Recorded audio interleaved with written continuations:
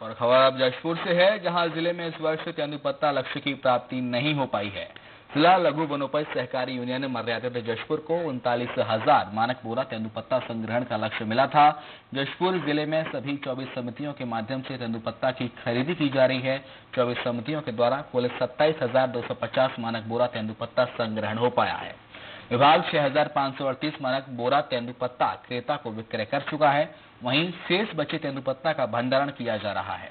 आपको बता दें, इस बार छत्तीसगढ़ की भूपेश सरकार चार हज़ार रूपए मानक बोरा की दर से संग्राहकों से तेंदुपत्ता खरीदी कर रही है।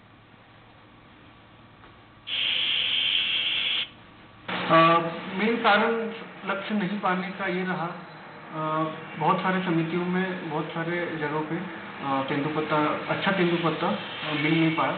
बहुत सारा फटा हुआ तेंदुपत्ता मिल रहा था।